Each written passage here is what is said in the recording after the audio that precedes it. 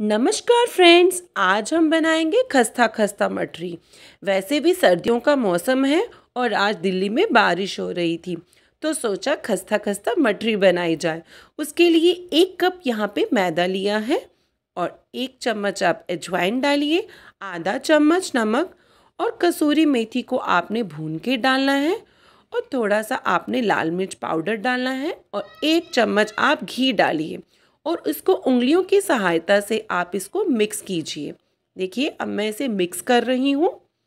जब आटा इस तरीके से हमारे हाथ में आ जाए तो समझो हमारी मटरी खस्ता बनेगी।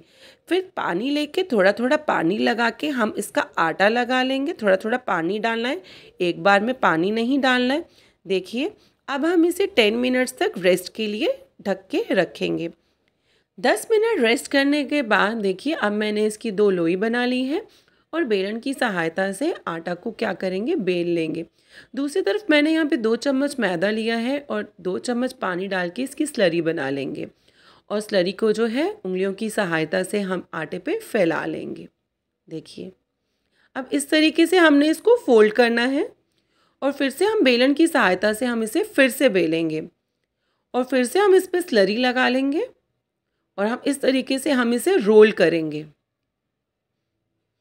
अब चाकू की सहायता से हम इसको इस तरीके से इसके पीसेस कर लेंगे, इस तरीके से कट कर लेंगे और उंगलियों की सहायता से हम इसे फ्लैट कर लेंगे।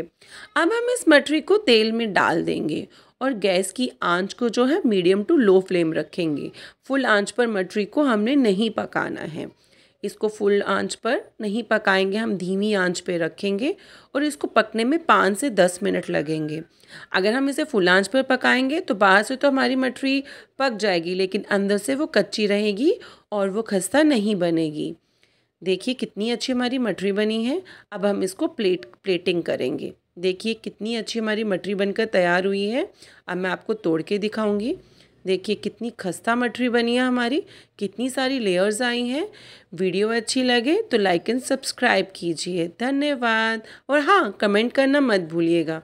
Thank you